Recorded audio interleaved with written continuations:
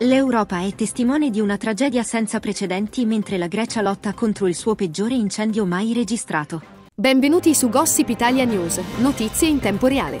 Metti un like al video, iscriviti al canale e attiva la campanella per rimanere sempre aggiornato.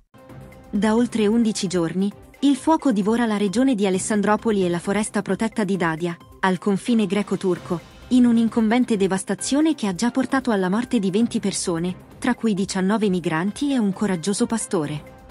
Questa catastrofe ambientale e umana ha sconvolto il paese, richiedendo un'enorme operazione di soccorso e unificazione internazionale. Le fiamme incontrollabili hanno divorato un'impressionante estensione di 81.000 ettari di terreno, con il fuoco che ha lasciato dietro di sé solo distruzione. La Commissione europea ha mobilitato risorse da sei Paesi membri per contribuire agli sforzi di spegnimento, inviando 11 aerei antincendio e un elicottero dalla riserva Rescue. Tuttavia, la catastrofe non si limita alle fiamme e alla devastazione, ma si intreccia anche con l'oscurità dell'odio razziale.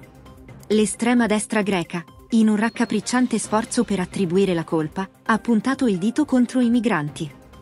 Anche se le motivazioni rimangono oscure, alcuni estremisti accusano i migranti di essere responsabili degli incendi, portando a un'onda di razzismo e violenza.